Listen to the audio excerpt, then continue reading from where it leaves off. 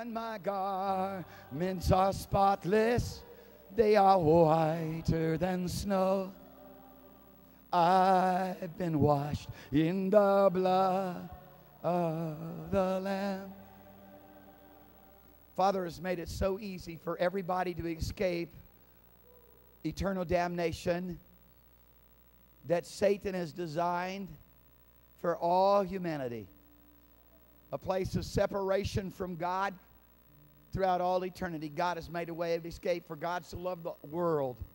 For God so loved Jews, that God so loved the United States of America, God so loved California, He so, so loved San Diego, He so loved your family, He so loved you that He gave His only, He gave us His only begotten Son to be a sacrifice for our sin. Hallelujah. To be the author of our faith. To be the author of our faith. Hallelujah. What amazing God. I tell you, you can't believe this and stand around with your hands in your pockets. And uh, but the, the, the beautiful thing of it is, his Father is so long suffering. Father is so patient, so kind. He'll let people stand around with their hands in their pockets over the greatest thing that he's ever done and ever could possibly do for you until all of a sudden one day you get it. Lest you get, lest you get the risky run as you get trapped, trump, stumble into the ditch of religion, and then you'll stand for the rest of your life with your hands in your pocket and you'll never behold him. I'm telling you, fa- listen to me. Father in his grace and his mercy has made it to where that you, you've really got to work hard to miss heaven. Let me just say this. You've got to work hard to miss heaven, both now and through the ages. One day I was talking to a, a friend of mine we were, who's been in the ministry for many years and come from a long legacy of ministry, and we were just talking about who's making heaven. And we came to a conclusion this if you know how to go into heaven now, you can go into heaven later. If you don't know how to go into heaven now, then you're running a risk. Your soul is in jeopardy as to whether you're going to go into heaven later. Why wait to the end to find out what's really taking place when an examination can take place right now? Why wait until tomorrow when the floodlight of heaven can shine upon your soul and everything be revealed according to God's word and purpose for your life? And then, and then if there's things out of place, if there's things wrong, God has who's, who's authored this salvation, God who's began this good work, he will finish it, He will complete it, but not without your participation. I tell you right now, I'm going to praise Him. I'm not going to praise Him based on who I am, I'm going to praise Him based upon who He is. I, am I'm, I'm going to ask God to cause my heart to be so filled and so thrilled with the person of the Lord Jesus Christ.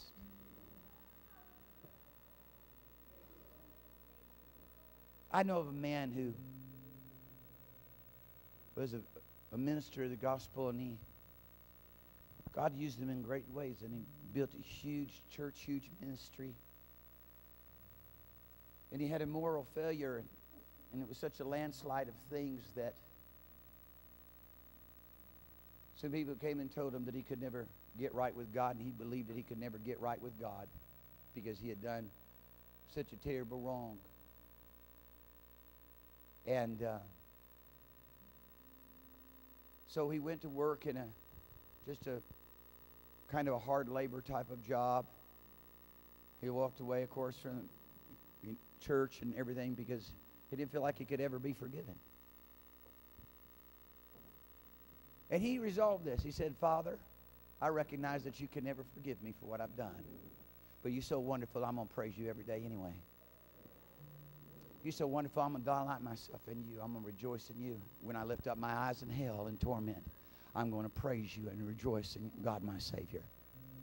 It was about two years ago this man came back to the Lord after 25 years of thinking he could never be, that he could never be forgiven.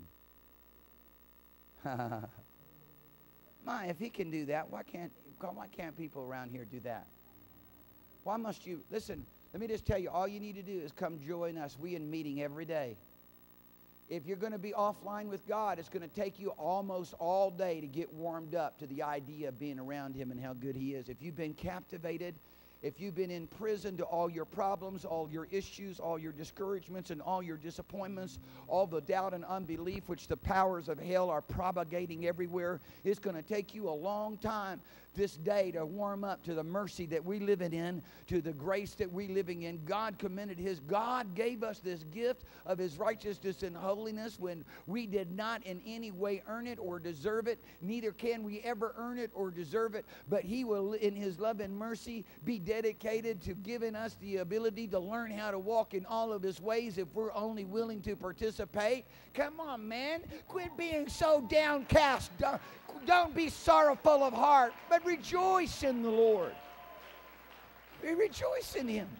One day I looked at myself and I said, I said to myself, I said, You're either going to be Abel or you're going to be Cain. If your face is downcast, if your countenance is downcast, then you are clearly by fruits and definition Cain.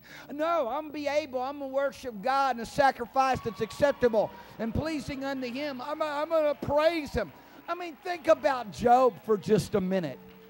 Think about Job for just a minute, dear people. Think about Job for just a minute. I mean, though, yea, though he slay me, yet will I serve him. I mean, look at the praise. I mean, look at the worship. Look at the adoration. Somebody, somebody knew God. Somebody had the fruits that they knew God. I hear a lot of people talk about how they know God and how they get got a relationship with God, but I'm going to tell you when you know Him, woohoo! He is so glorious. He's so wonderful. He's so worthy of every good and wonderful thing. He just, he just, he's just amazing. All this love that He shows for us. People love their mother so much because their mother took such good care of them, gave them such amazing unconditional love. Hallelujah. Huh? Oh, man, take that and multiply it by God. And that's where Father's at right now. We want you to see it. We want you to see it. We don't want, we don't, we don't want the powers of darkness to be able to blind you anymore through the sin and through the iniquity and through the doubt and through the unbelief. Blind you from the reality of God's goodness and His love and His mercy towards you. Hallelujah. On Saturday nights, on Saturday nights, we do a school of worship.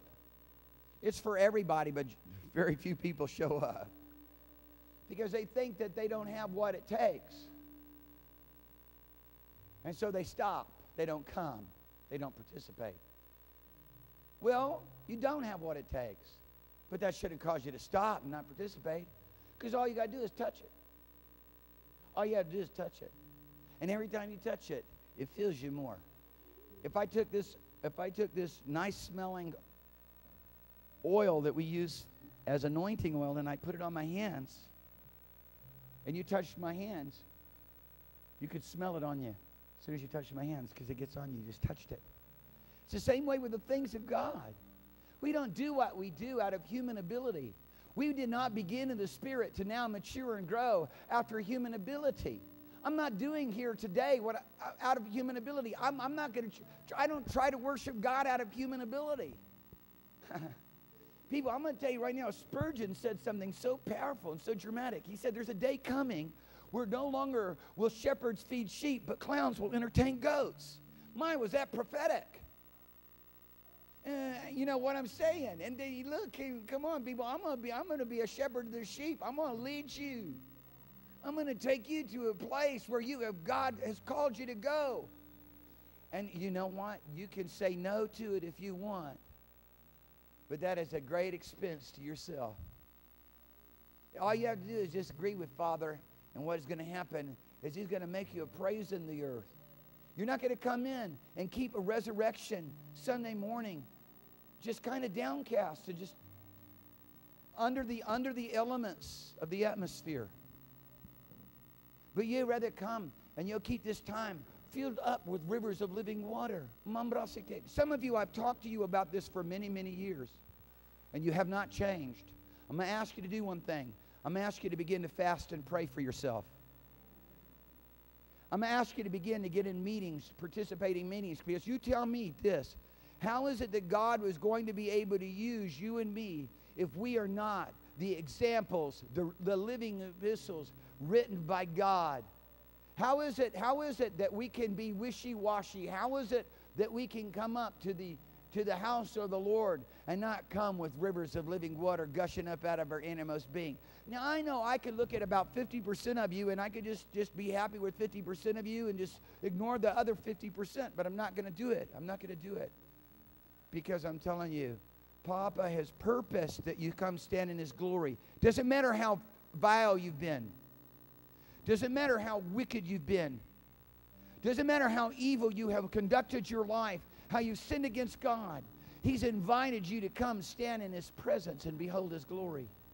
He's invited you and I to come and have a meeting with Him, and it's that meeting that will change everything about you. And, and too many of you will not listen. You refuse to hear, and you and you come under the influence of the voice of the enemy that holds you back from doing those things that God has freely given you an invitation to come and participate with.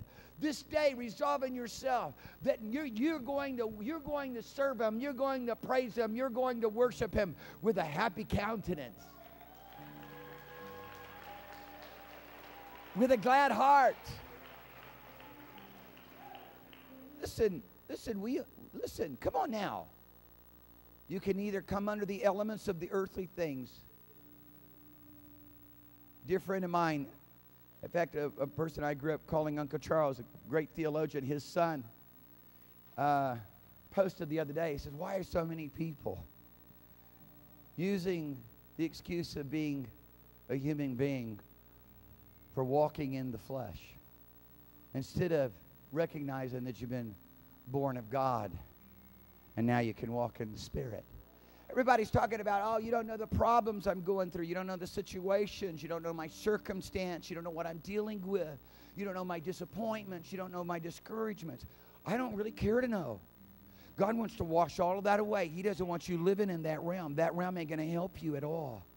I am, I am pleading with you and begging you. I am desperately crying out to you, saying, Forsake that now. Ha. Listen, wa mamrokaya taya, rusotoya taya.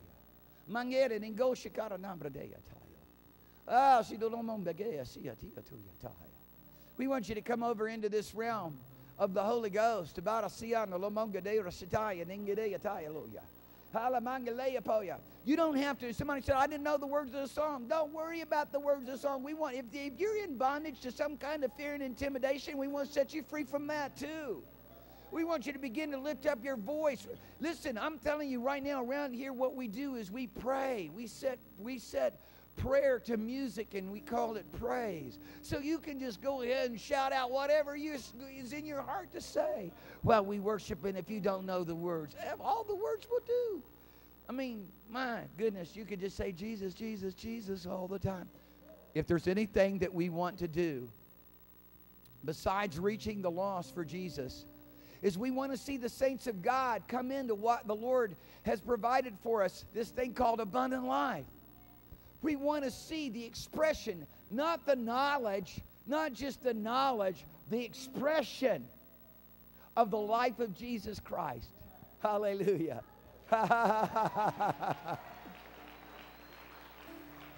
and, and I want to know, I want you to know how easy it is. It's so easy. You just ask Father. You just ask Him. You just ask Him. Maybe you wake up, you're tired, you're overwhelmed by situations, by bills, by problems, by the events of life that you have not yet learned how to move in faith to override. And it still has an impact on your heart and your affections. All you got to do is just by the simple saying, Holy Spirit, fill me with your joy. He'll do it if you'll develop a relationship with Him. A relationship is reciprocal.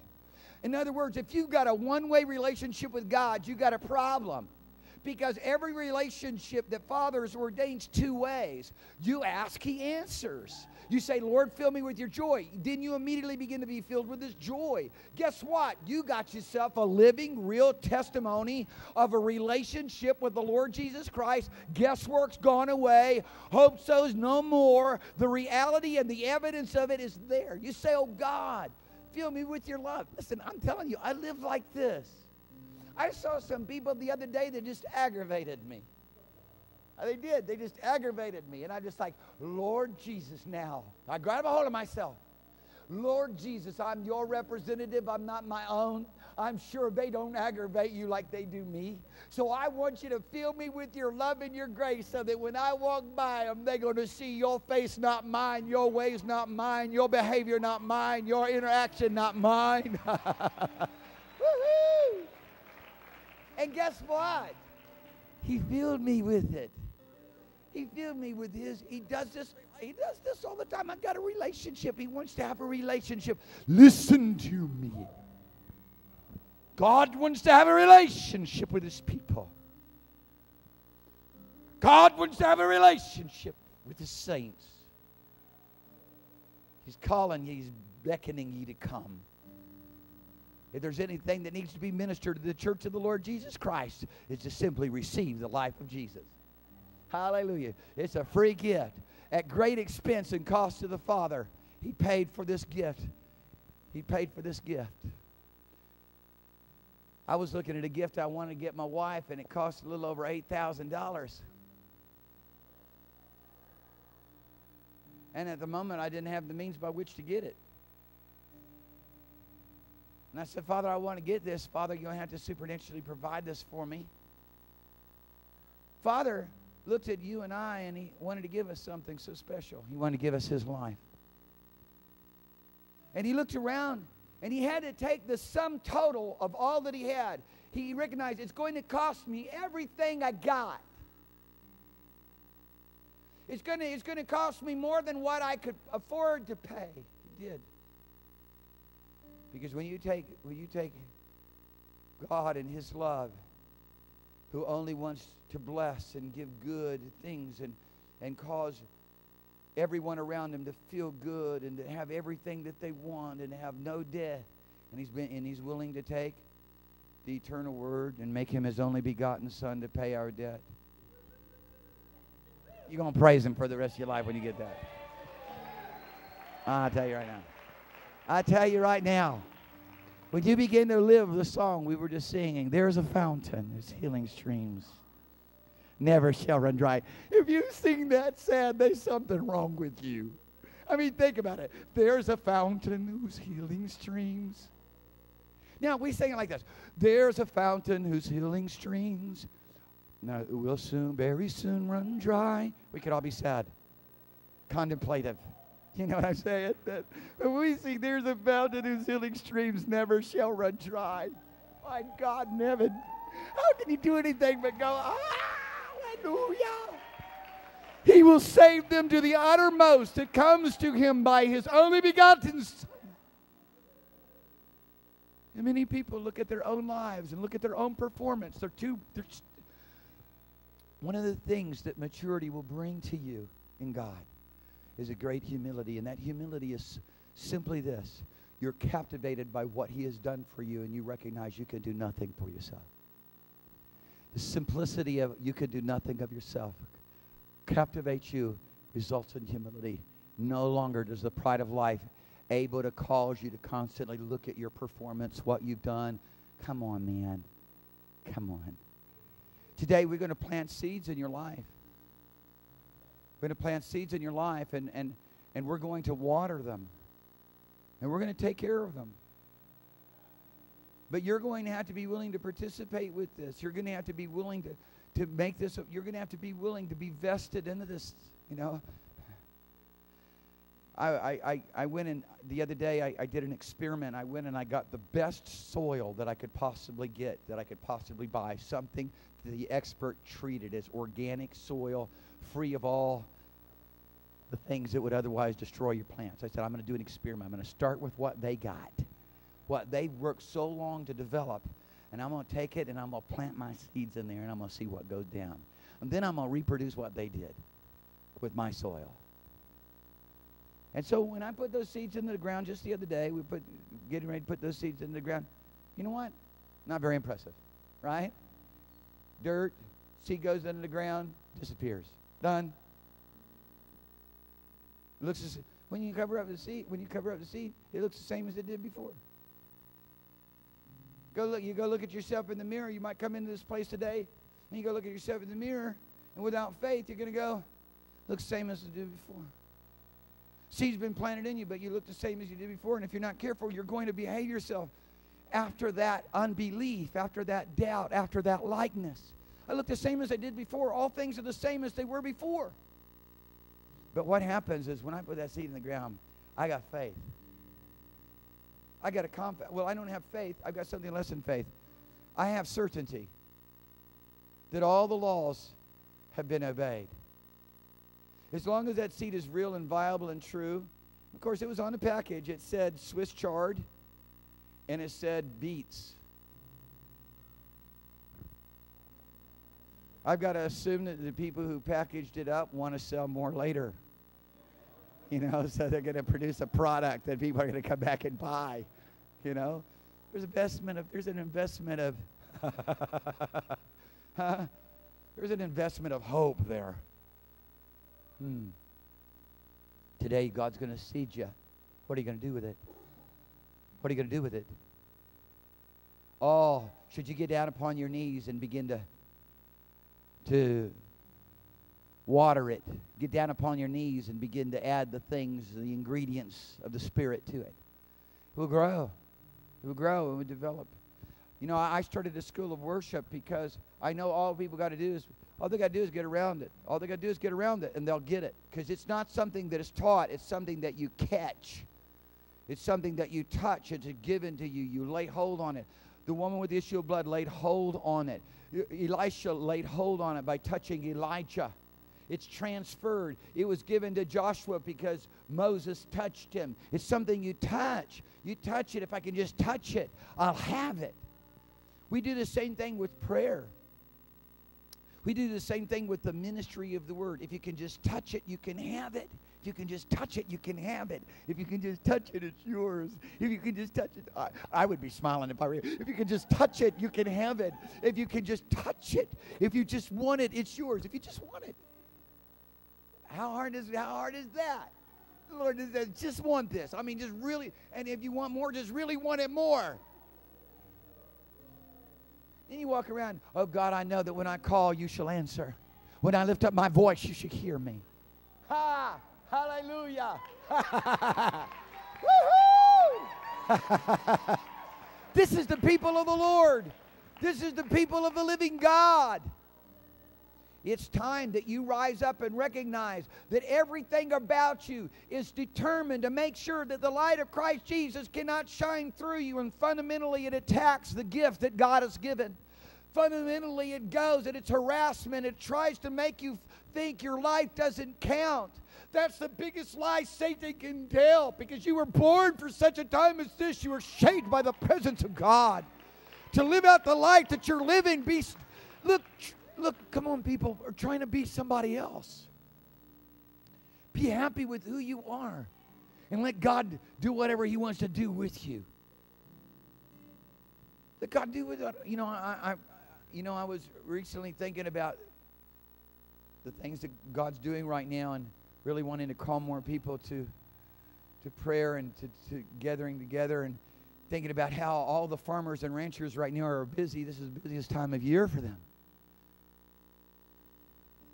and they maybe they can't come and be a part of some big meeting somewhere they can't become be a part of a big gathering otherwise the harvest is going to waste in the field but i tell you what they can do they could hit their knees every night and begin to pray and cry out to god because farmers have learned how to pray for rain and nobody wants rain more than farmers. Only people are allowed to really even talk about whether the, what's the rain conditions are, are farmers because it's to them only really that it matters the most. You know what I'm saying?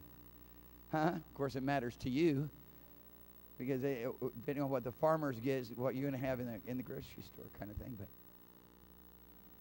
And a farmer, he thinks maybe he hasn't done very much. No, he did. Look, he set himself, set himself to seeking God. I've watched and seen God raise up farmers who did get all their all their whole meaning in life, their whole value in life was that they recognized that God called them to prayer and that they had power in heaven to pray. Don't don't create fantasies and imaginations for yourself of who you think you should be. If I'm trying to be somebody else, I'm going to be the most miserable person on the face of the earth because I can only be me. And if you're trying to be somebody else and you're not happy with who God made, you're going to be a miserable camper camping this side of glory. You know what I'm saying? Actually, you're supposed to be camping in the glory. Why don't you be happy with who God made you? Why don't you be happy with what God's given you the opportunity to do? Because there's no way that you ever going to be more used by God until you're happy with what God can do through you right now. Until you're willing to participate with what He does through you at this very moment. Hallelujah. What's wrong with that? Why can't you shout just a little bit about it? Say, Amen. This is true. I'm going to be happy. I'm going to be blessed. Say, I'm going to be happy. Somebody said, I want to write better songs. Well, you're going to be happy with, you got to be happy with the ones you write now. In fact, you got to write some now. I'm not going to write any songs until I can write a great song. Well, you, are not going to remember where I write a great song. I'm not going to pray a prayer until I can pray a, a, powerful prayer that changes the world around me. Well, then you're never going to pray the prayer that changes the world around you. You have to start where you're at. You have to be faithful with what you've got, what God's called you to do. Hallelujah. So many ministers leave the ministry because they they modeling their church after Joel Osteen. Goodness gracious. If you're going to model your church after Joel Osteen, you're going to be one miserable guy because it probably ain't going to happen that you end up with 40,000 people in your meeting in a budget, you know, of 100 billion a year or whatever. You with me? Are you listening to me? And people going out of the ministry all the time because they're living some other, they're living a false model. They're living in imagination. I think imagination is the worst enemy against God's people. It creates all kinds of troubles. Be happy. He gave you the gift of righteousness and holiness, gave you the authority to be a son of the living God, baptized you in the most important thing that is that exists in his in his kingdom, the Holy Spirit. Hallelujah. He loves you. You know, important. Praise the name of Jesus. Praise the mighty name of Jesus. You can be seated. We're happy that all of you here.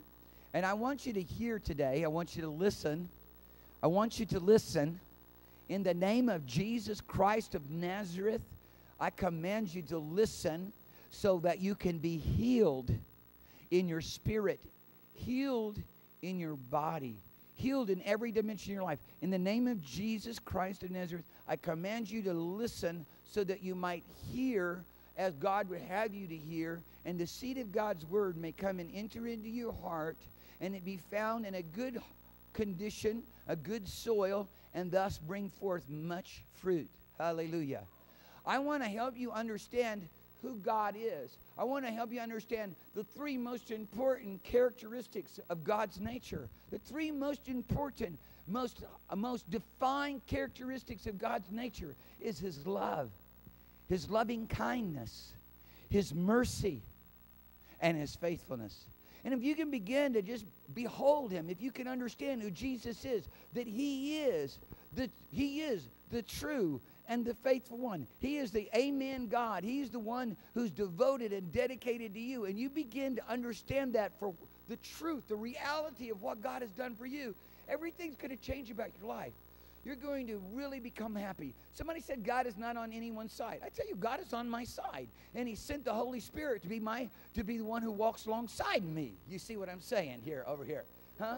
And I can understand what some people say, you know, God's not on anyone's side. We're supposed to be on his side. And I understand the truth of that. But at the, at the same time, you can understand that God is on your side. He will take your part. When you've decided that you're going to be on his side, when you said, listen, I'm going to, I'm going to define my life from this day forward based upon the value system of heaven. I'm going to allow my life to be defi- defined for me based upon what God revealed from heaven in His Word. If you're going to do that, if you begin to obey God, if you begin to move in the simple faith that He's now given every person on the face of the earth the privilege and the opportunity to participate with, and you be faithful with what's given you in the, in the written word of God from Genesis to Revelation, God will be faithful to give you more. Because one of the chief characteristics of God is faithfulness. And when we understand that, that He is devoted to perfecting us, He's devoted to, uh, to establishing everything in our life that He's given to us as a gift. Then all of a sudden, it doesn't matter how big of a failure you are, you can constantly be looking at God's mercy because they're new every morning. They reach into the heavens, they cannot fail. Forever I will sing of the mercies of the Lord. Surely goodness and mercy shall follow me all the days of my life, and I shall dwell in the house of the Lord. And it's all based upon what He's committed in His faithfulness to do for me rather than all of my performance based ideas of myself all the things that I think that I must be able to do and accomplish to somehow earn God's favor. He came and He called me to come and sit down at His table among all the mighty, and I wasn't worthy to be there for a moment. I wasn't worthy to be called. I wasn't even worthy to be in the room. And He gave me a choice seat in the house. And so He has to every person, no matter how vile, no matter how wicked, no matter how undeserving, this is what God has done for us in His love. And if you can capture it, if you can capture it, I see Moses as a man who, from the very early days of his life, he was imprinted by God. And when you're imprinted by God, you're always comfortable around Him. We can imprint horses, and it really works. We get really intimate with them to imprint them. We can imprint cows. We get really intimate with them. And then they'll follow us around. They'll think that somehow, you know, they're part of the family. Okay? Moses was imprinted. He, from a very small child, he was imprinted by the presence of the Lord. I was imprinted by the presence of the Lord as a very small child. In 1959, February the 5th, I was born in a revival meeting in Caney, Kansas. People say, Oh, you're from Caney, Kansas. No, it was a six week revival. And in that revival meeting, I know for a fact I was imprinted. I was imprinted. I was imprinted because of the ministries that prophesied over my mother's stomach when I was just a baby, saying, This is what God will do. I know that God has imprinted you as well. You may not understand how He has imprinted you, but that's how you got here today. God, in His love and mercy, has provided a means for every one of us to be able to know Him. Moses got imprinted as a child, it was always on his heart. Stephen, in his, in his testimony concerning Moses, Moses' life, you read in Acts chapter 7, you can see that Moses understood from a child, from a very young man, how that God was going to do these great things through his life. He didn't know how it was going to come to pass.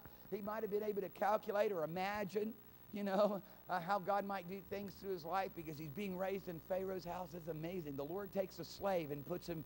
God does this. Say, say, God does this. God takes a slave and puts him in the, the Pharaoh's house, the, the, the royal palace of the king of the world.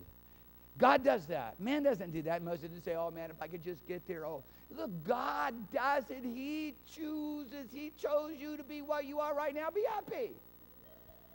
He chose you to be in his kingdom. Be happy, be blessed. Oh God, I can't believe I get to be here in your kingdom. I can't believe it. Oh God, you gave me the authority to be a son of God. You overshadowed me with your glory, and this holy thing that was conceived on the inside of me is this wonderful new birth, Jesus in me, the hope of confidence and glory. I mean, when that becomes a part of your life, the most central part of your life, all the ambitions, forget about them let God have his perfect will and way. Let the Almighty have his will.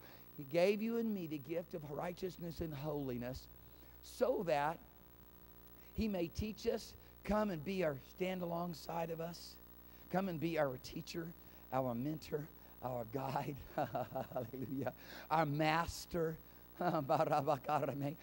so that you and I could be established in every dimension of His glorious ways. This is abundant life. Be perfect as I am perfect. Or be perfect even as your Father in heaven is perfect. That's abundant life. Hallelujah. Be pure even as He is pure. That's abundant life.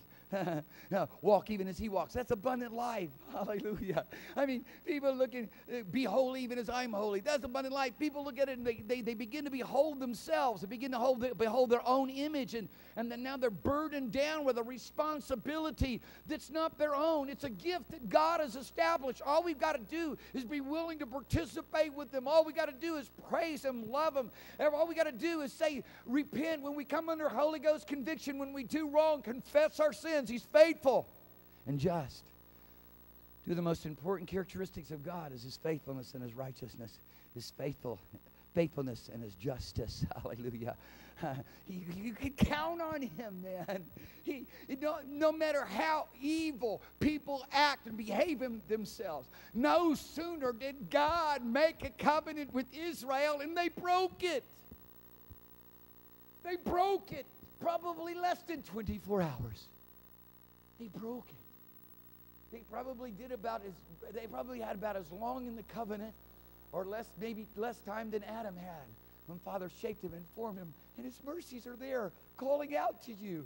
Satan will say, Satan will come and ridicule you with all of his lies and with all of his imagination, with all of his propaganda, with all of his insults against God and against you. He will bring every form of condemnation. He'll be form, bring every form of accusation. You've got to be careful who you're listening to because fathers, they're calling out to you saying, Come, I've got mercy for you. I've got loving kindness. I'll keep you. I'll not let you slip nor slide. I'll perfect you. I'll establish you.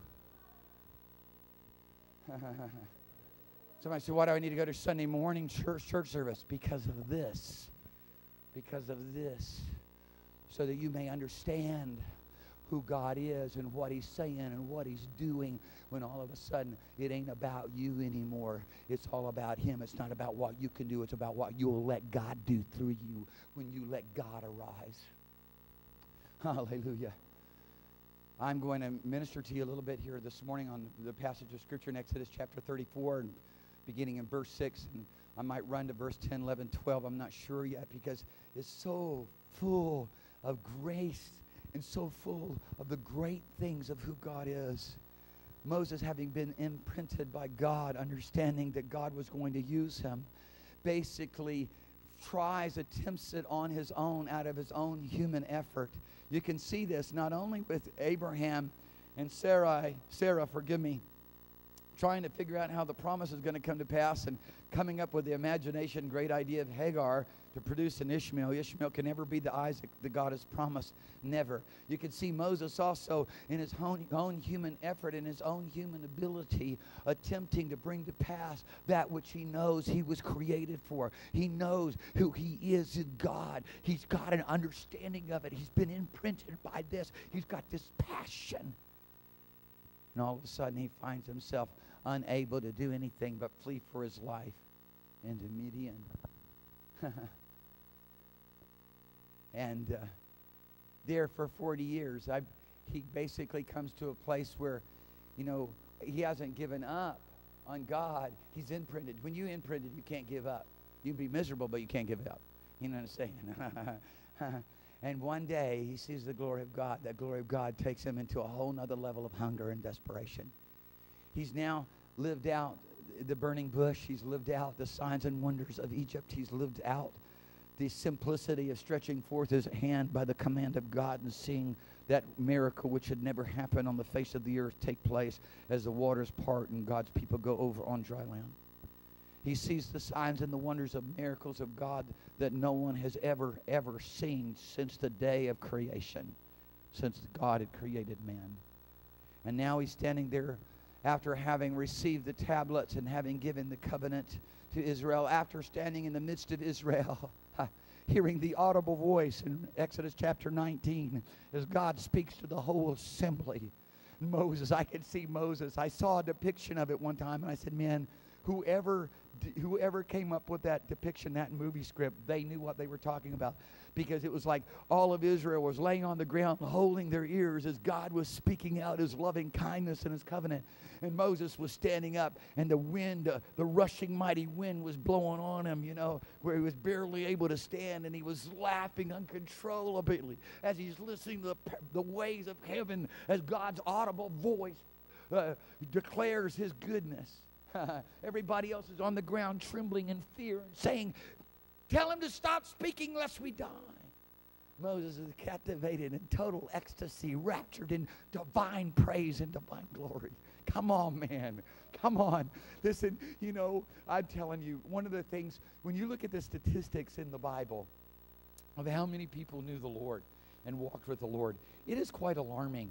So very, very few.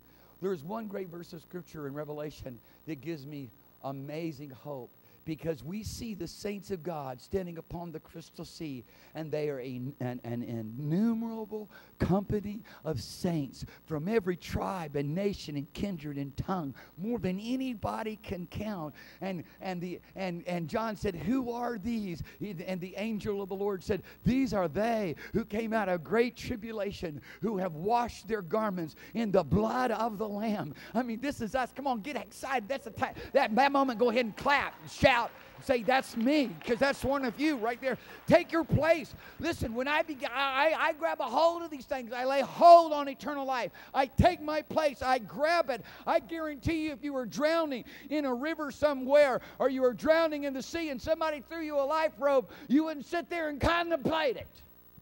You know what I'm saying? You grab on. You might shove somebody off grabbing on. you grab on, man. Take your place. God has opened up a door of opportunity. Seize it right now. To see that innumerable company. Somebody said, Great tribulation. Well, isn't that in the in actually something that's taking place during the time of the seven year tribulation? No, because uh, if you come on our, our teaching on end time prophecy, I can help you understand that more. But bottom line of it is, is Revelation is a very chronological a testimony of the things that are going to happen. I mean, very chronological. Sets up chronology, and every page that you turn is chronology seven seals, seven trumpets, seven vials. The things which are, the things which, uh, the, the, the things which shall be hereafter. The things which you've seen, the things which are, and the things which shall be hereafter. All from the beginning all the way to the end is chronology. And so, yeah, you know what? It's something to think about that you and I are in a great conflict right now. We are in great tribulation right now. And, and that's why that's why uh, Paul said to us, "Be strong in the strength of the Lord and the power of His might." But look as look as Israel was advancing God's cause. Look as Israel is going now, doing those things which God has purposed for them to do, so that the kingdom of God may invade the earth. Look at all of the Amorites. Look at all the enemies that rise up against them. Praise God for a Joshua.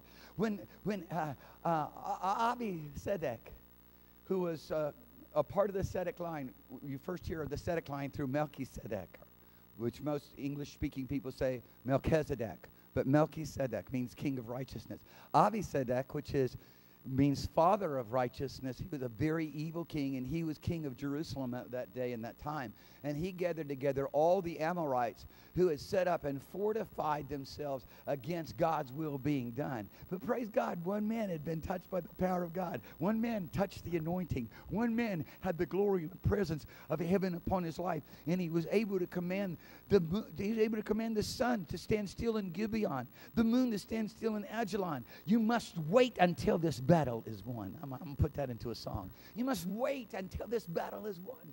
I'm not giving up. I'm not going to sit back here and say, oh, you know, it didn't work out. Oh, we were hoping so, but it didn't come to pass. Hey, listen, there's something that happens in our life when we are apprehended by the power of God. We begin to understand how He has empowered us how He's resourced us and empowered us to go and do all these things on His behalf, in His stead. Hallelujah. And finding our part in that is that I, I want you to understand. I've watched too many people go and pursue accomplishments, being ambitious to achieve things rather than having the most important thing first, and that's relationship. Knowing him. We look at Moses and he's go, no, I'm not going anywhere. No, I, not just, I, he's not asking God to just go with them. He's saying, Lord, I, I don't want you to just go with us and being outside the camp. I want you to, I'm not going to go anywhere unless you go with us in the midst of us. In the midst of us right now. And so ultimately, there's so many things to say about this wonderful display of relationship that's going on in Revelation of who Father is as he reveals and unveils himself to a person, Moses, a man who's going to lay hold on God no matter what. He's going to, he's to risk everything. That needs to be you. I want you to understand that needs to be you. And it begins by the smallest little challenges that you have in your uh, life, the smallest little oppositions that take place in your life, because I want you to recognize God's not going to allow you to be tested above what you're able. Even though there is a whole army of the powers of hell withstanding you and me in this moment of great tribulation, listen to me. God's not going to allow you to be tested by, above what you're able. He's going to let you deal with your small issues, your problems, your self interest right now first, and see how you do with that. He's going to let you grow and develop to get over your sorrow, your disappointment, your discouragement. He's going to let you just deal with those everyday common occurrences that are common unto man and see how you go ahead and trust Him, how you go ahead and praise Him, how you go ahead and resign yourself wholly unto the living God to live only for Him. He's going to see how that works out first. He's going to mature you, He's going to perfect you. He's not going to accuse you. Do you understand? God's not going to accuse. When God's ready to do some judgment, his wrath is going to burn and it's all over. Until then, he's simply saying, Come, come, I love you. I have mercy for you. I have grace for you. I'll help you. I'll get you there. I'm the same yesterday, today, and forever. I'm faithful. I'm full of loving kindness. And that loving kindness is not about people in general, it's about you specifically. It's about you specifically, you specifically. It is about every human being on the face of the earth. When I receive the love of God, to know and believe the love that God has for me God is love. This is where it all begins. So many folks have a hard time just dealing with this one attribute of God, just dealing, just believing this one nature and character of God. It is amazing to me how many people believe in the wrath of God, but they don't believe in the love of God. How many people believe in the judgment of God? Oh man, they are convinced on the judgment of God, but they don't believe in the mercies of God. I'd rather that people believe more in the love of God and the mercy of God than the wrath of God and the judgment of God, although both are important to believe. The one is a living faith, the other is a fate. And consequence in the end. it's not living faith. Judgment, wrath, not living faith. Loving kindness and tender mercies are living faith, faithfulness of God. He, this one thing you can be confident of. God has began a good work in you shall finish it. Hallelujah. He shall finish it until the day of Jesus Christ. Hallelujah. He, he, I don't care what you're going through. That's what Paul said in Philippians 1 6. And then Peter said, I don't care what you're going through. Some of you are going through great heaviness and, and tribulation so that your faith can be perfected. And I'm like, Lord, how, you know, sometimes I look at people and they in heaviness through many tribulations. I'm saying, Father, how long is it going to take them going through all that? Till they just praise you. Because all he's looking for is for your, for your faith to be found in the praise. Hallelujah. Your faith to be found in honor. Hallelujah. And glory, a virtue. Hallelujah. That's what he's called you and I to. And I, you know, I want to get on with the program. Hallelujah. I'm ready to move. I'm ready. If you go to work with me, if you go go hang out with me, I'm ready to get the stuff done.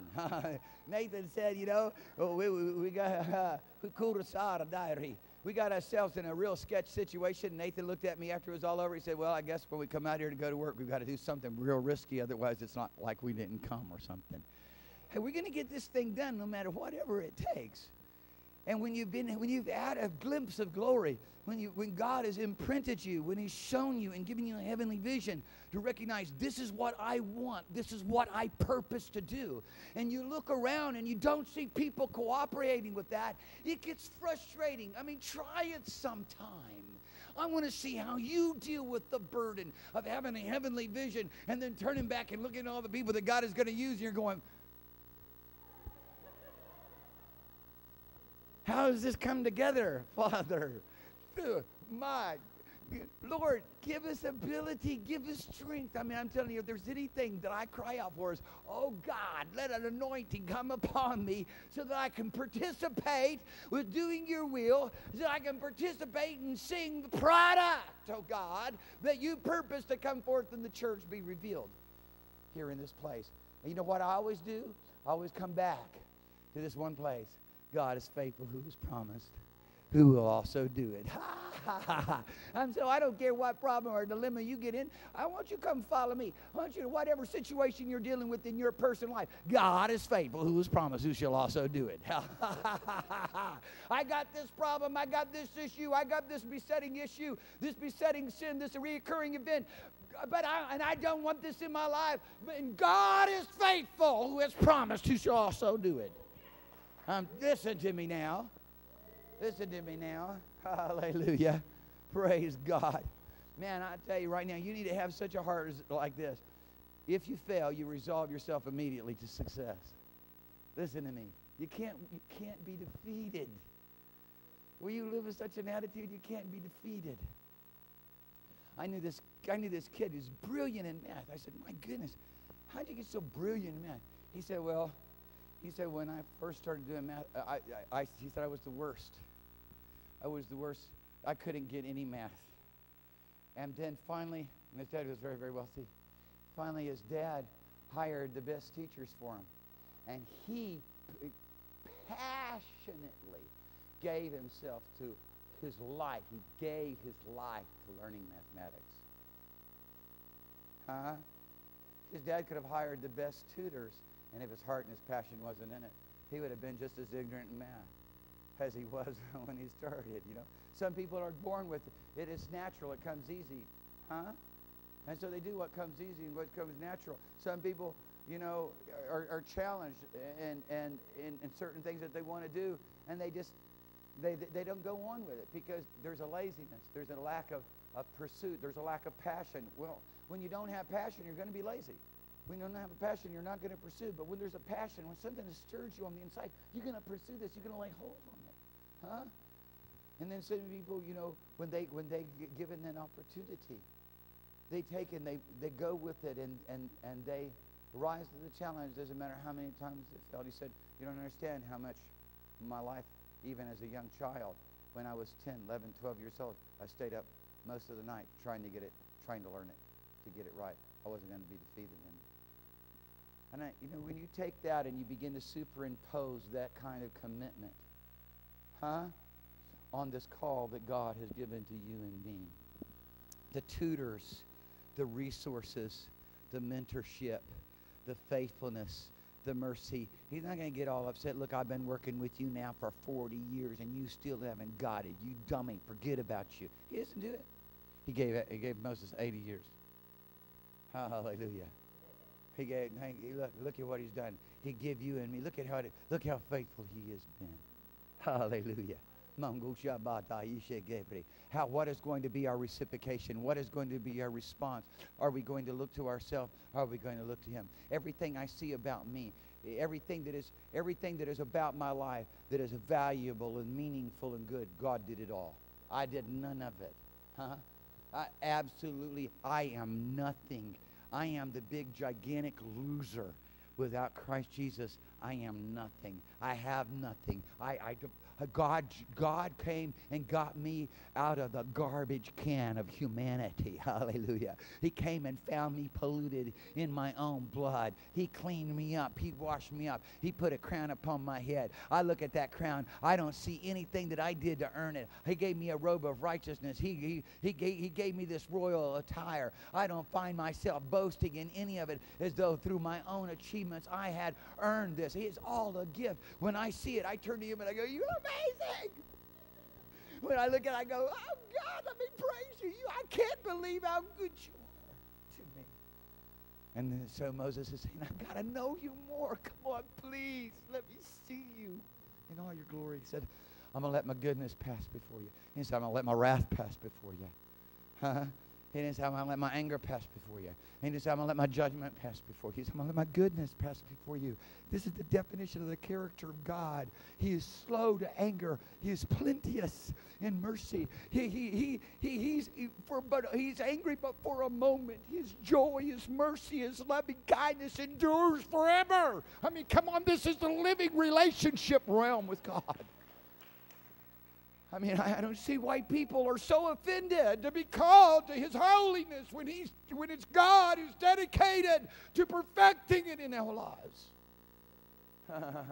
you shouldn't be offended that He's called us to such great and lofty power and ability and place when He is the one, is the one who's not only given the gift, but devoted and dedicated Himself to making it a living reality. Come on, man. Just one moment. Just one moment in His presence. Hallelujah. Just one more encounter. Just one more encounter. I tell you, when I'm praising God, I'm wanting to encounter. I'm not here just lip syncing. I want an encounter. It's the encounter that brings the change. Hallelujah. Moses is saying, I have to have another encounter. Touch me once again. Touch me once again. You're going to hear me. I'm going to wake up in the morning. Touch me once again, oh God. Touch me, oh God, that I might see you. it's going to be a passionate cry in my heart.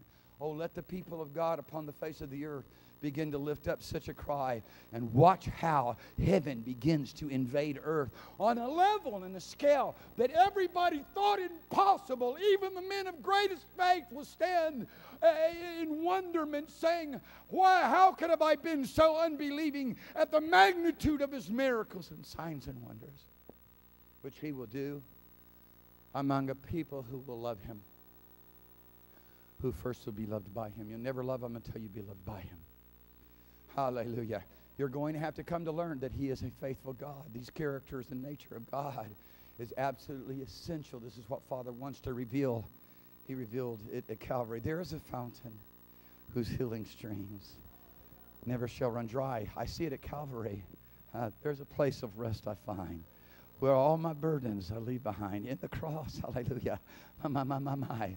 You know, I see the Pope and all these other guys walking around with Jesus hanging on, the, on the cross. I have no problem with that. Some people, uh, they get, ah, he's not on the cross. No, he's not on the cross. But look at what he did. I see him on the cross. I see him there on the cross for me. I'm never going to forget how he died, how he died such a miserable, painful, agonizing death. How he suffered so the shame of all my sin and disgrace. I'll never forget that. I see the love of God made manifest for me. I see that God spared not his own son when I was his enemy, when I was everything opposed to him. By mind, evil deeds, thinking, thoughts, manner of life, had no desire to retain God in my thoughts. As the people, as humanity, God spared not his own son, but delivered him up for us all. How shall he not also now, shall he not also now all the more freely give us everything by Jesus? Yeah. That's why I'm excited, you see. That's why I'm dancing around. That's why the joy hits me. That's why you're going to hear the shout in me. That's why I'm looking at you going, you know, as, as Jack Coe did many times, what's wrong with you? My God, what's wrong with you people? I think I'm going to put that on my Facebook. Where you come up on my Facebook and it's just Jack Coe going, My God, what's wrong with you people? Why? Because deaf ears were popping open.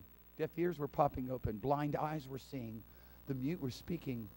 Cancers, he was pull cancers off of, off of people's body. And folks, the, the Church of Jesus Christ, just sit there. Just sit there.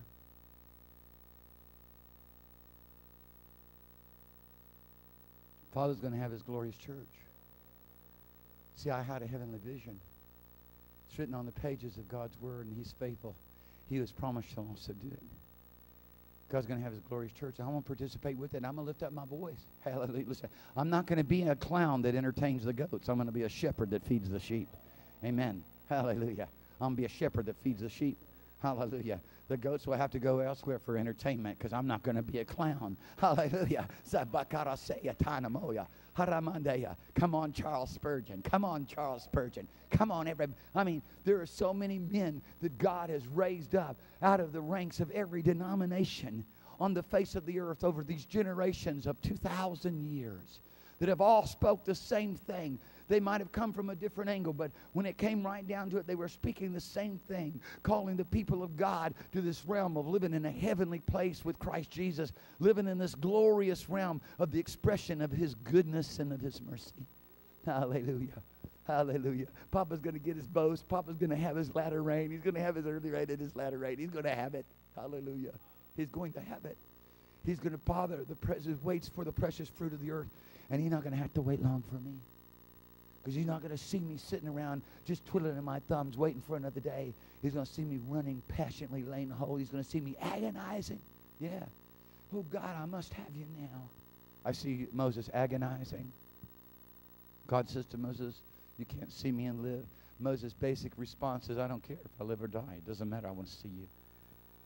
The Lord said, I'm going to let my goodness pass before you. He says in the Hebrew language, Yehovah, Yehovah as he passes by. When any time a name is pronounced twice, usually in the Hebrew language, it's a, it is a, it denotes endearment. It's so in, if I was to say Yehoshua, Yehoshua, or if I was to say Isaac, Isaac, or if I was to say Yahoo, Yahoo, Jacob, Jacob, Isaac, Isaac, or if I was to say Moshe, Moshe, Moses, Moses, it would be to say, my dear Moses, my dear Jacob, my dear Isaac. Huh? It's like, it's like the Lord said, Jehovah, Jehovah, I am your, your dear Jehovah. I am your dear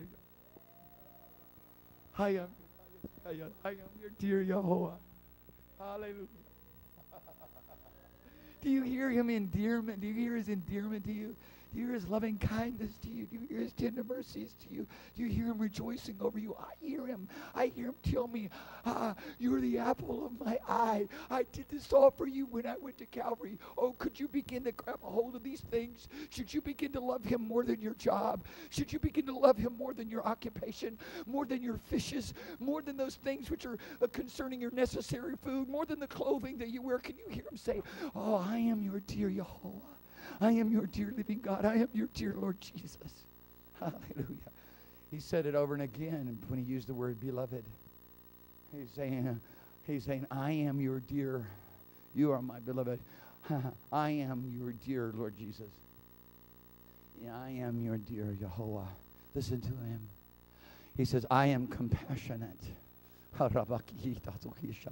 He says to him, he says, I am gracious or, or full of grace. He says, I am, I am merciful.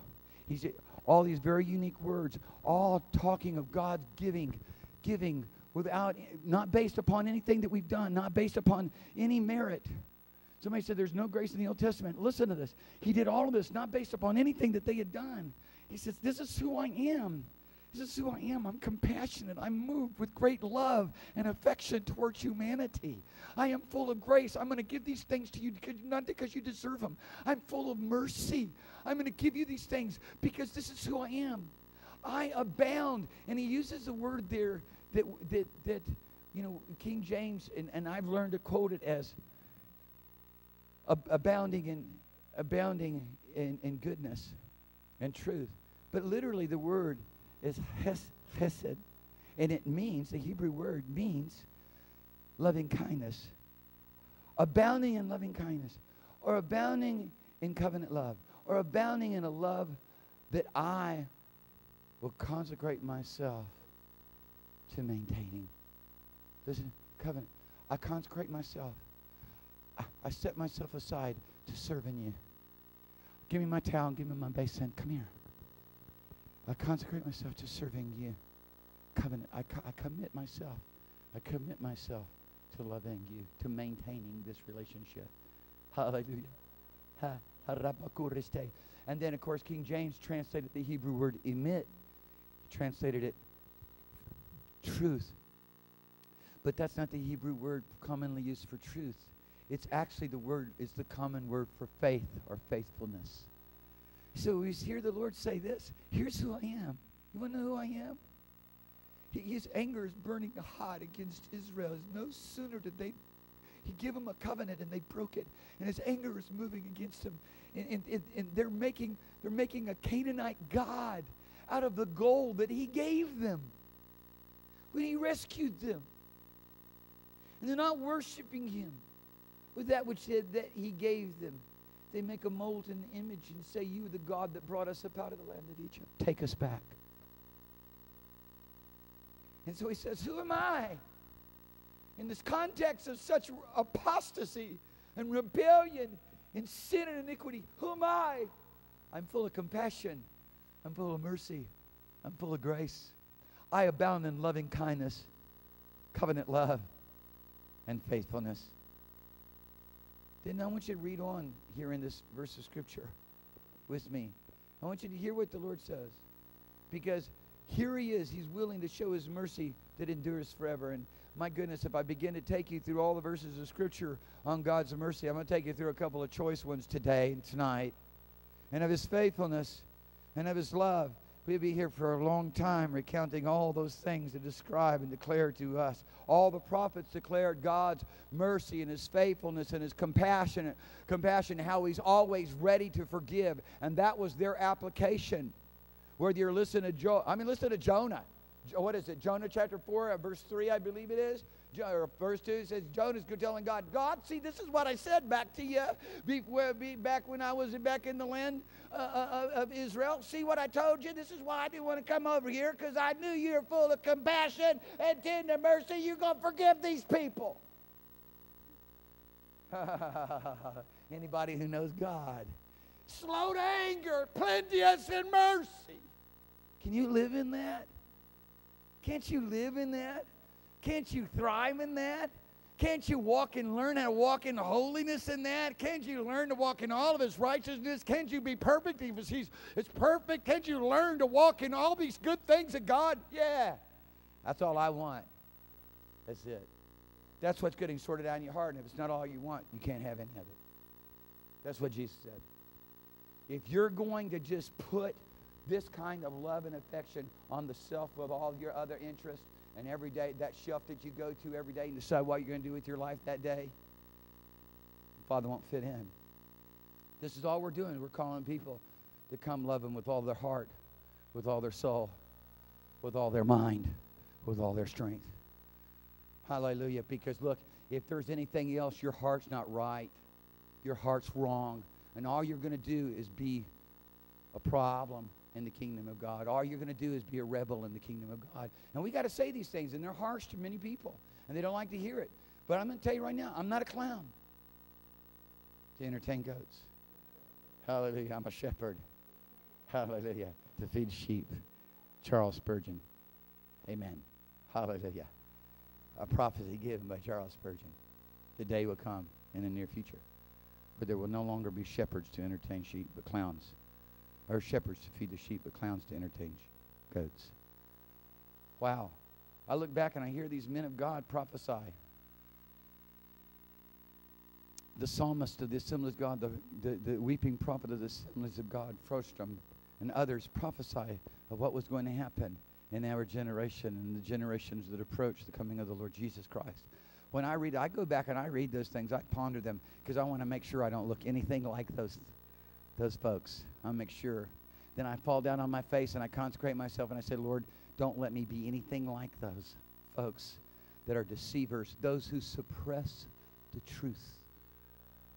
Suppress the truth. Yes, Scripture does say the wrath of God abides on those who suppress the truth. It's true. Don't suppress the truth. Don't suppress the truth. Just recognize how much He loves you. Rejoice in it all day long. Hallelujah.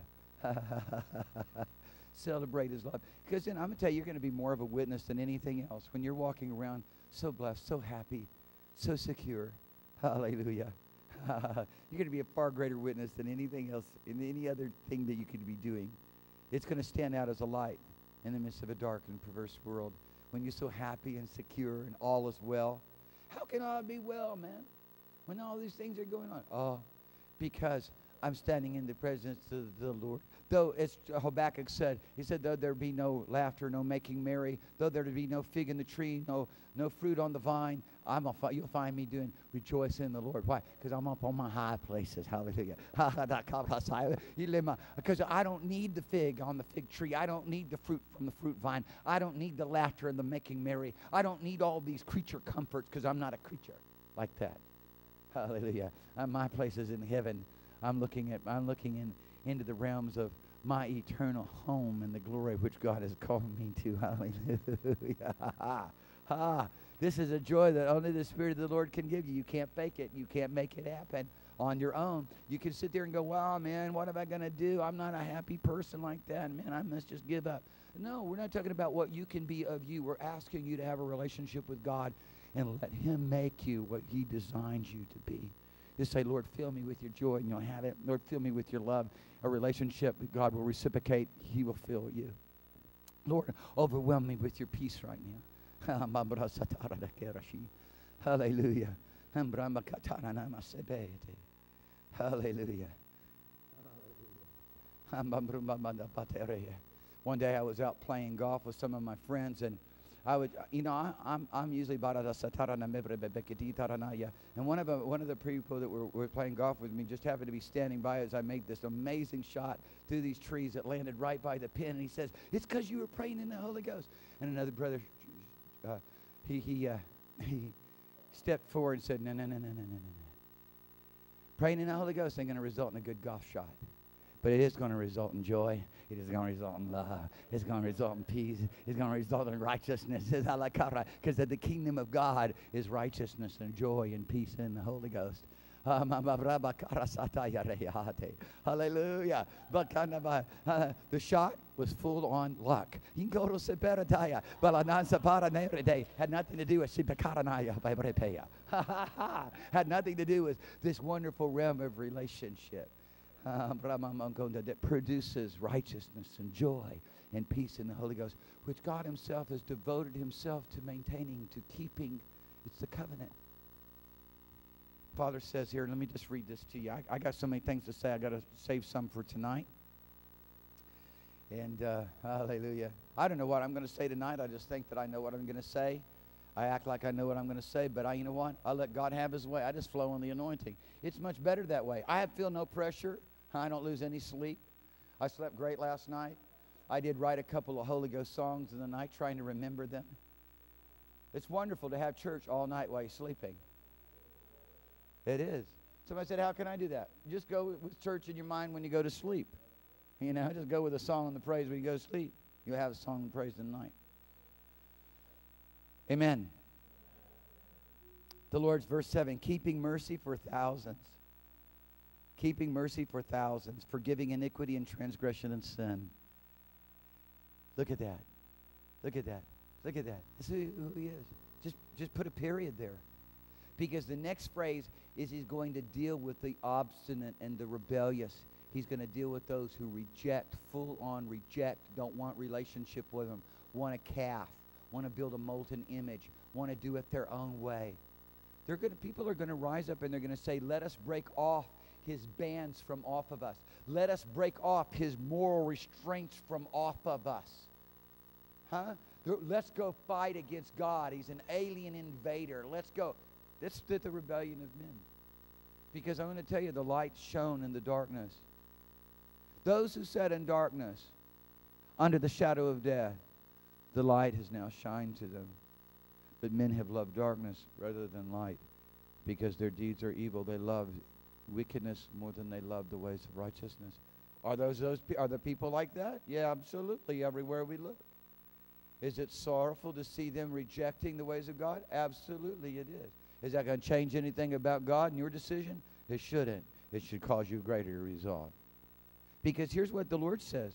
In light of all of this, here, here's a just and holy God who cannot behold evil, whose eyes are pure than to behold evil, who's willing to bring you and I, who's made a way to bring you and I, to accept you and I into his holiness of holinesses and call us one with him. Come on. Listen to me now. Can't you hear the shout? I hear no condemnation. I hear life. I hear life in the Spirit. That's what gets me to rejoicing. I think people hear that and they are so filled with, with other voices that they come under the yoke of condemnation. They become heavy laden because they look into the arm of flesh. Having begun in the Spirit, are you now made perfect by the arm of flesh? Are you now made perfect by human ability? No, don't start looking at what you've done, what you performance performances that you have had based upon your failure versus successes. Begin to rejoice that he has so opened the door and invited us in. Oh, what a mercy. What grace. What amazing love. He says, I will by no means clear the guilty. I'll show you forgiveness and mercy, but if you don't want forgiveness and mercy, you're guilty, and I'm not going to clear you. I'm not going to say, oh, don't worry about it. I just, I'm so full of loving kindness and tender mercies. I'm so full of mercy and compassion and grace. Uh, I'll just let everybody in. Doesn't matter, you know. Uh, they, will get it. They, they'll learn it before too long. He's not going to do that. He, he, he says, I'm not going to clear or pardon in any way those who are guilty. I will visit the iniquity of the fathers upon the children, and upon their grandchildren, and upon their great grandchildren. Pretty intense, isn't it? But his mercy and his forgiveness is there for anybody who asks of it. Anybody who's going to reciprocate in his love, anybody who's going to look to him and put their trust in him. Israel became so rebellious that the Lord said, Listen, this is what I want you to do now, Moses. I want you to take a serpent, the same kind of image of the serpent that's biting them because of their murmuring and complaining. Remember 1 Corinthians chapter 10, verses 1 through 10? Are there Paul saying, I want you to get this down. I want you to learn from their mistakes, lest you ultimately follow after the same example, after do the same things that they did and were destroyed by the destroyer. Are you listening to me? Huh? God in his mercy and his loving kindness is going to forgive you how many times? How many times you reckon he's going to forgive you in a day? An unlimited number of times. If you want to say 490 because se- take 7 times 70 literal, that's fine. Because by, by, by and large, that's an unlimited number of times. How many people have asked the Lord to forgive them 490 times a day? How many? 490. What's going to happen is your pride's going to get in your way, and you're going to start feeling like I don't deserve it, and I'm not worthy. That's just nothing but stinking pride. Can I put stinking in front of it? If I can't, I'm going to do it. I'm going to do it anyways. Listen, it's nothing but pride, huh? Lord, forgive me again. Lord, I'm coming to you again. Forgive me. Oh, I must not be sincere. Well, if you weren't sincere, you wouldn't be saying it. Lord, forgive me again.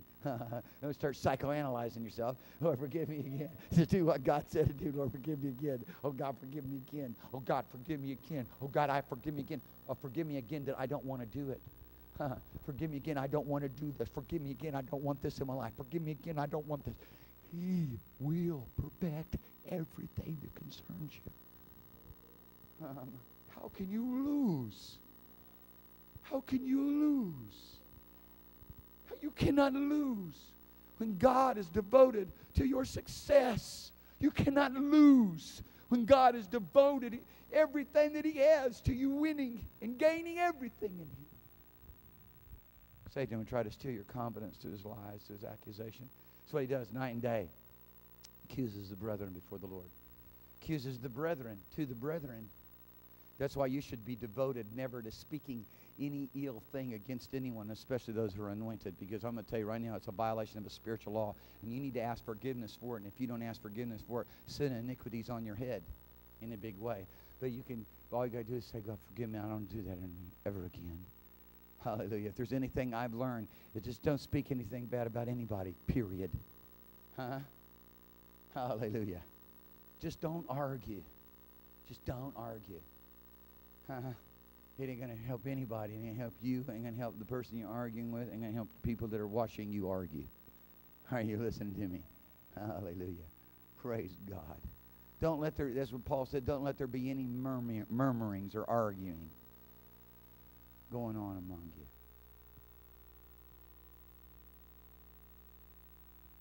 And Moses made haste and bowed his head towards the earth in worship. It's just what's what Elijah did too when God passed before him there. Remember that one? When he was standing there in the cave, and the Lord, there was a there was wind, but the Lord was not in the wind. There was an earthquake, but the Lord was not in the earthquake. The Lord was behind it. He wasn't speaking through it. People say, oh, God's speaking through the, the wind. He's speaking through the weather and the earthquake. See, it's a judgment God now. And he speaks, still small voice. Elijah wraps his head in his mantle, gets down, and bows before the Lord. Oh, how did Elijah get to be Elijah? How did the Tishbite get to be the one to get caught up in the glory? God appointed it. Amen. How did you get to be who you are right now? God appointed. Amen. You should get real happy. Quit trying to be somebody else. And rejoice in the relationship that Father has given you so you can get promoted into all that He's purposed you to do. Yeah, that's just it. That's all you need to get a hold of right there. Hang on to it. Get excited about Jesus and quit being so excited about you. And the fact of it is, you're not going to be very excited about yourself anyways. You're going to be more disappointed in you than you're excited about you ever. Huh? Huh? Because after you gain the whole world and all the money in it, then a moment later, you're going to be disappointed in yourself and there ain't nothing else you can do because you got it all. And so all the way up to that point, uh-huh, it's going to be one miserable ride. So just forget about it. Bail out on it. Stop doing that from this day forward in Jesus' name. Get excited about the Lord whose mercies endures forever. Who's given us all things freely to enjoy. Who's given us the riches and the wealth of the ages. Who's given us an inheritance in himself. Who's providing for us all things according to his riches and glory by Christ Jesus. Hallelujah.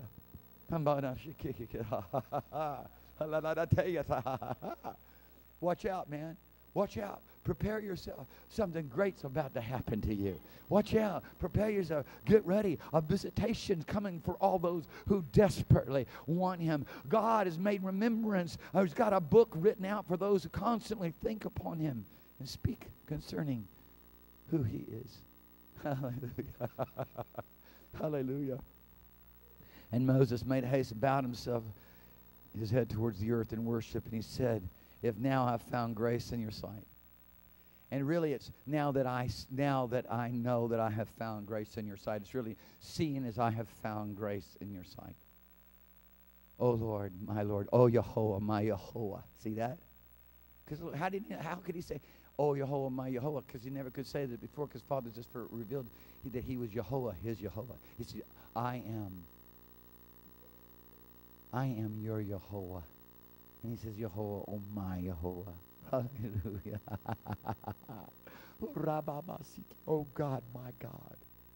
Oh God, my God. Get these words. God has put his words in your mouth. Take those words and begin to speak them to him. Oh God, my God. How amiable are your tabernacles. Oh God, my God. How wonderful are your ways. Oh, get some uh, tender, get some tender affection of faith. Quit saying, "Oh God, what's wrong with me?" Oh God, why am I such a wah, whatever, such a wah wah Start praising Him for all He's done.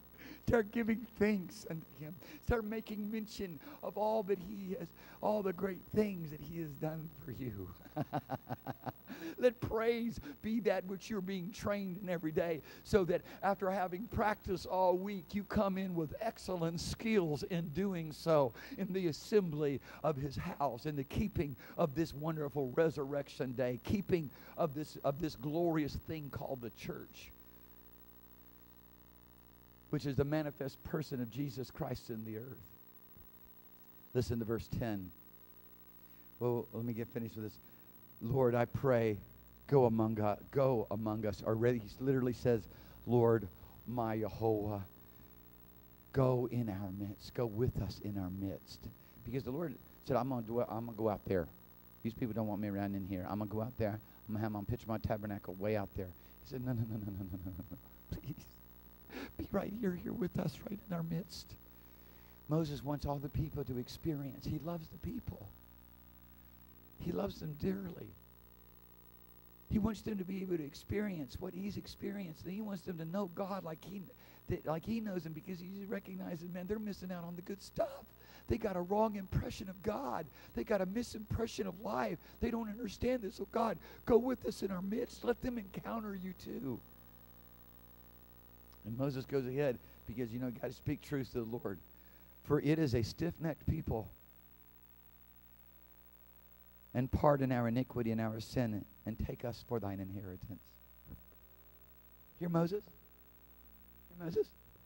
Stiff necked people, this rebellious, this stubborn people who won't listen. He's interceding. He says to pardon them for their sin and iniquity and take us for thy inheritance. Jesus took it to another level. Listen to what God says. Listen to what God says. Listen to what he says. Listen to what he says. He promises in verse 10 to send Jesus. Watch this. And he said, Behold, I am making, he literally says, and behold, I am cutting a covenant. He's already made the covenant. He's already made the covenant. They broke the covenant already.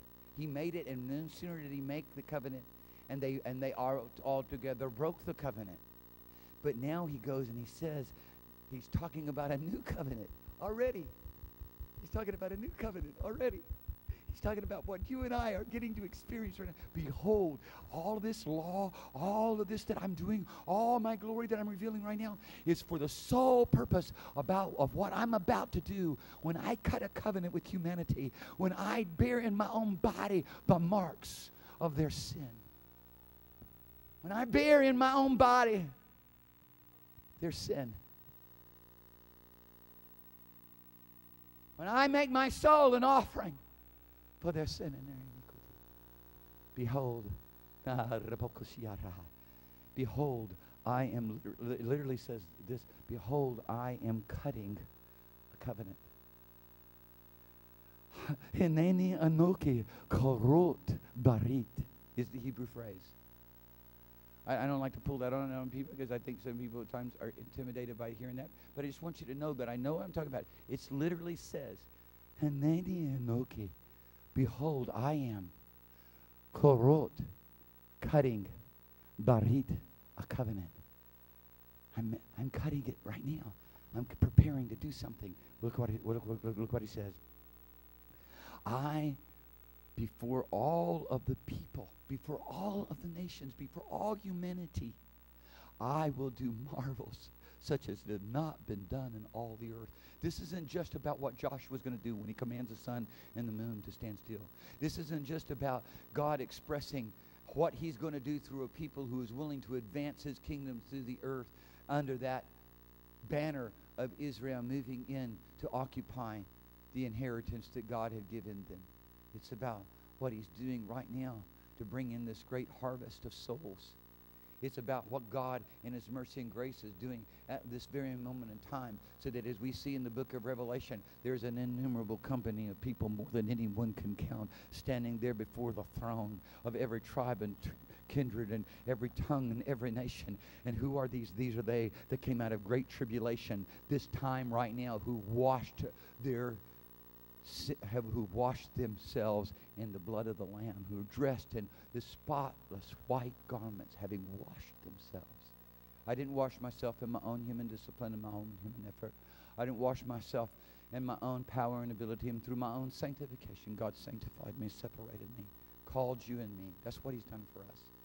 And it's this that causes the praise. It's this that causes the happy. When I begin to sing, there's a fountain, the healing streams never shall run dry. That's what I'm thinking of. Hallelujah. There's a place of rest I find where all my burdens I leave behind. That's what I'm thinking of. I'm thinking about my Yahweh. I'm thinking about my Jesus. And thinking about my God who loves me. Behold, I am cutting Behold, I'm doing it. I looked for the intercessor, and there was none.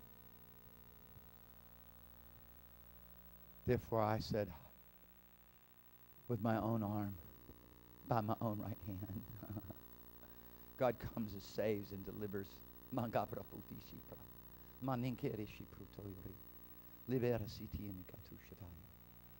Oh, hallelujah.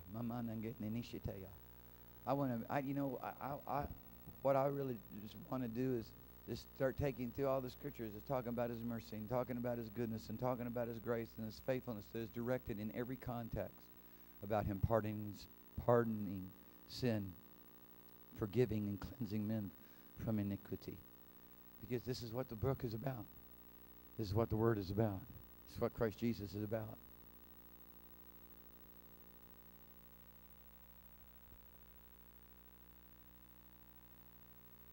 Because I believe if I just kept speaking about these things, suddenly your heart would begin to hunger and thirst.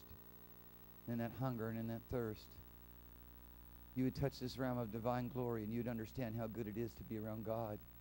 And once you're touched by Him, like I, once, you, once the fire God touches you, all your life is going to be as about is this one thing. I got to see your glory. I got to see your glory. I got to see you. I got to see you as you are. I got to have more. Oh God, I gotta have more. Oh God. Then the hunger and thirsting after righteousness isn't something you're trying to do. It's something that's been created on the inside of you. I want everybody to stand with me. God's calling you. He's dealing with you. Hallelujah.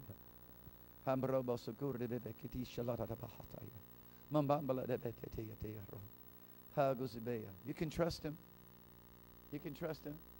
You can trust him more than you can trust me. I was watching, we got Jonathan to go up on those high purlins this past week. He's way up in the air walking purlins, steel purlins. Said, I said, Jonathan, how are you doing? He said, I'm praying. He's willing to put his life on the line, go out there and drill down corrugated panels for us upon that building. Oh, I'll tell you right now, people, you can you can put your trust in the Lord. He take good care of you. It might look like risky business. He's going to take care of you. Best thing to be doing is find yourself praying while you feel like you're in risky business. Or you feel like you're doing something in the kingdom. Everyone, would you just lift your hands towards heaven? Just let the Lord touch you right now. Would you just let Jesus touch you? Will you let Jesus touch you right now? You just let, as you're standing in his presence, we just let Jesus touch you? Just let him touch you. Just let him touch you right now. He's calling you. Doesn't matter who you are, doesn't matter where you're from, doesn't matter what you've done, doesn't matter who your family is, doesn't matter how long you've known him or haven't known him. Right now, every good thing, everything about himself that he's given and revealed to anyone on the face of the earth through the Bible, as you read the Bible, or through books about God, he's going to do for you. He's willing to do for you. Will you let him? Will you let him? Right now, in the name of Jesus Christ, I break off every yoke, every shackle, every pain, every disappointment, everything that belongs to sin, everything that belongs to poverty, everything that long belongs to depression, everything that belongs to torment. I command it to go. Everything that belongs to sin, every disease of spirit and soul and mind, in Jesus' name. In the name of the living God. In the name of Jesus. Father, I thank you that you bring forth people who are ready, O oh God, prepared unto every good work. Father, I thank you that you bring forth out of this congregation people who are devoted to you. Father, those who have learned not to be devoted to themselves anymore and to their own cause, but devoted to you. And learn how to do that just through simple relationship, not through all the things that men might describe as as what that looks like, but just just loving you, just knowing you, Lord. Hallelujah. Hallelujah. Lord, it's so good to know you. Lord, it's so good to know you. Right now, Jesus Christ is calling you. As much as he called you, he said, If I be lifted up, I'll draw all men unto me. He made it so simple. He said, Even as Moses lifted up the serpent in the wilderness, and all men had to do, all they had to do, look how simple it is.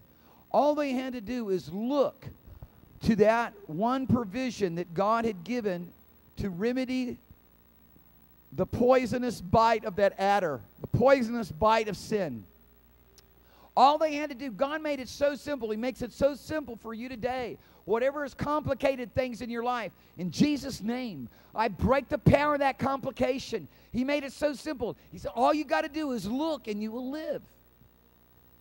All you have to do is look and you will live. All you have to do, as Moses lifted up the serpent in the wilderness, even so the Son of Man should be lifted up. He said, If I be lifted up, I will draw all men unto me. All you have to do is look and live. Right now, Jesus is calling you. You might be watching by the web or by YouTube at this very moment. Listen to me. Jesus Christ is calling you. The love of God compels you to come. All you have to do is look unto him, and he will be the author and finisher of your faith. He will be the author and finisher of your salvation. He will bring you into a whole new realm of living. I looked at, a, I was on the, on the airplane to San Jose. I sat down, in a, uh, well, I, Ed and I sat down in a seat. We knew that the plane was filled, so we, we made room for someone to sit down. I saw a guy walking by. I said, Hey, you can sit down here. because he had walked by a couple of times. I said, No, you sit down here. And he was a heroin addict who was coming from Tucson, Arizona to go to a rehabilitation clinic in San Jose. And I told him, I said, You know why you sit down here? This is your day of deliverance. This is the day that God and you are going to meet. You're going to encounter the living God. See, we don't talk about, we don't speak like scribes and Pharisees, just quoting verses of Scripture. We speak as those who have authority who come in Christ's stead. Hallelujah. Today, I give you a new heart, and I give you a new spirit. And I break off of you the torments and the shackles of heroin addiction. Power God in it. Just that easy, man. God's made it so simple. We overcomplicate the thing. We get ourselves and our self-consciousness and who we are and what we can do and whether or not we got the power or the goods all integrated in it. Come on, man. And that's nonsense. Spot is Papa that does the work. Papa does the work. His Father does the work. He's made us, he's made us bearers of good news. Today, behold, deliverance has come to your house. Hallelujah. Father, I thank you that Gabe's being touched by you right now. Gabe? it's good, ain't it? It's good, ain't it? It's good, ain't it? It's good. He's not in here. He's on the web. It's good, ain't it? It's good, ain't it? It's good. It's good. It's far better than heroin. People get on heroin and, and they, they experience such a sense of well-being and peace that Satan has devised to counterfeit what heaven's like. It sucks the soul right out of their being. Boy, when you step into heaven, when you have an encounter, when you sit down on an airplane, hallelujah. Ha kabokasha with somebody full of the Holy Ghost. Hallelujah. Ha ha ha ha. It's good. Hallelujah. There are, there are people here today. There are those here today, right now, you've never experienced the goodness of God. And Father wants all his goodness to pass before you right now. He wants to give you a new heart and a new spirit. He wants to fill you with his joy. Hallelujah. He wants to fill you with his love. He wants to fill you with his peace. He wants to fill you with his righteousness. He wants to give you a new heart and a new spirit. He wants to give you a desire for the things of heaven when you've had a desire for the things of hell. He wants to give you a desire for the things of heaven. When you've had a desire for the things of lust, he wants to give you a desire for the things of glory. Hallelujah. Glory is far better than lust. Far more pleasure in glory than you'll ever find in any kind of lust. He wants to fill you up. Jesus is calling you. The invitation's for you to come. You just come right. You can come. You can come in right where you stand. All you have to do is look and live. Just look and live. Jesus is calling. I want to just ask you one more time. Lift your hands towards heaven.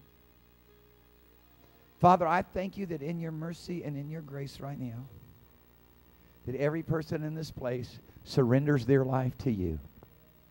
That not one person in this place refuses you or turns their heart or head away from you. Not one person is unwilling to turn their, their, their face towards you, being stiff necked, but everyone turns their face towards you at this very moment. And everything about their life takes on the splendor and the glory of heaven. In Jesus' name. In Jesus' name. Hallelujah. Hallelujah. Thank you, Jesus.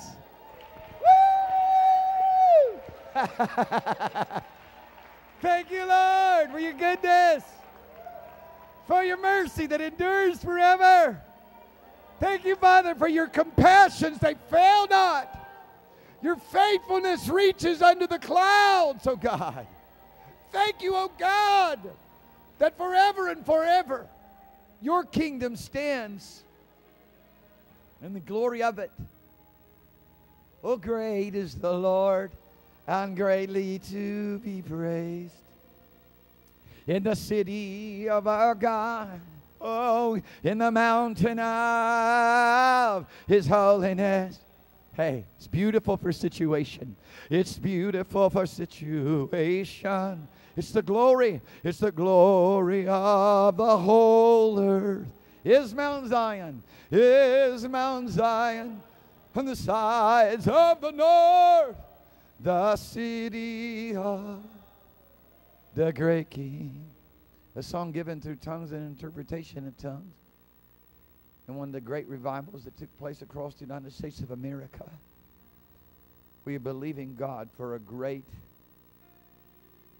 precipitating event. I'm getting ready to go stand with Rodney, my dear friend Rodney. I can't afford to, I don't have time to. I'm busy with the things that God has given me in the kingdom to do.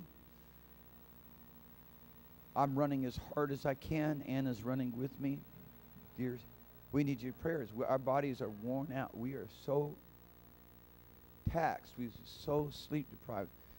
We work. We working so hard. It's only by the grace of God. But with where I see Rodney standing right now, which everyone in here should either call Pastor Rodney or Brother Rodney. Brother Rodney, where he's standing at right now, in in a stepping out in faith. I praise God for the faith. I mean, it cost probably two million plus to do what he's doing, and I guarantee you, he started with zero in the account, or it was minus. I guarantee you. And I, when, when there's anybody that's going to take a hold of heaven and begin to move in faith like that, I'm going to go stand with them. Not that I haven't been standing with him because I have, because I, I know where his heart is, I know where his passion is. And um, we're believing for a great precipitating event. I mean, I was just weeping yesterday. I was weeping. I was just weeping over this nation yesterday. I was just so touched. I, I had some things I need to talk to my son about, but I was just so touched of God so, so moved with God the Father's compassion for the nation of the United States of America. Did you know he, you can feel his compassion? All you got to do is begin to interact with him a little bit more. God wants to grow you up a little bit more. Just be patient with yourself. Look to him. Begin to love on him. He'll fill you with these things. He'll touch you with his compassion. The same compassion he feels, you'll feel it. The same love he feels, you'll feel it. The same mercy he feels, you'll feel it. It's beautiful.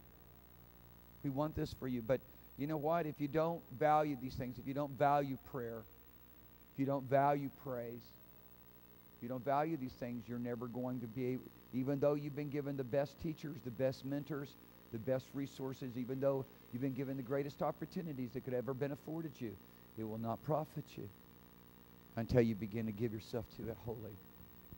Lord, I just live for you for these things. Hallelujah. Papa started you know, we got to all be patient with ourselves. It takes time for seeds to grow. Papa started working on me in this area 30, 32 years ago as he began to call me to prayer. He began to mentor me and develop me.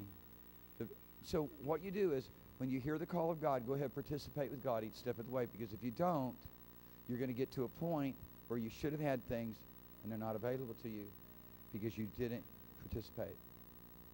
You just thought I had other interests. Go ahead and begin to participate with God right now on a whole nother level participation. And watch what he will do. We're going to see this nation shaken. We listen, we are at a crossroads. God's going to do it one of two ways. This is where I'm at. God's going to do this one of two ways. I, fin- I sense a, a great urgency. I sense a great impending moment. We are at the crossroads where we are going to make a decision either to repent, turn to God as the church, as the church, and begin to participate with Him in the glory that He wants to reveal and see this nation turn because it's our responsibility. God's given us authority to make disciples out of nations. It's our the church's responsibility. The nation is in the condition that it's in by and large because of this church or we're going to find ourselves in dire situation. And in either case, I see God at work in the midst of this nation, bringing forth a great revival. Where once again people begin to lift up their voice and cry out to God because he, He's going to save. He's going to deliver. He's going to heal. This place to be shaken. Hallelujah. This place to be shaken with the power of God. This nation be shaken with the power of God. This nation be shaken because the church is willing to be shaken.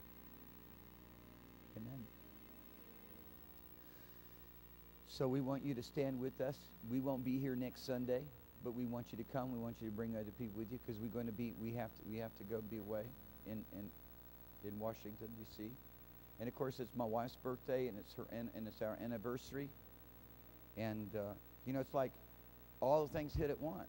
But what ultimately what happens is many times things happen like this not by coincidence. Huh? It's harvest time. We got to bring in the hay. We got all these work, this work to do with the things that God has given us to do. You know, it's the most important birthday that I have that I know of. It's my wife's birthday. It's the most important event. We've been married 29 years, and, and, and our anniversary is a, is a great event to us. And, you know, we can have all the excuses of why, well, you know, Lord, it's not a convenient time. But uh, what I've learned a long ago is I'll make sure I'm put Father first because He's sorting me out even when I don't know it. You see, man, what I'm, you understand me? He's sorting me out even when I don't know it. He's seeing where my uh, priorities are. He said, Mark, you know, it's like, so you said, and let me just, if you'll just allow me, I just want you to understand this. I want you to have wisdom and give you wisdom. It's, okay, so you're crying out for a great moving of the Spirit and crying out for a great revival in the United States of America. How important is it to you? Does it got to be all your way, done by you, under your banner, at your time, when it's convenient? huh?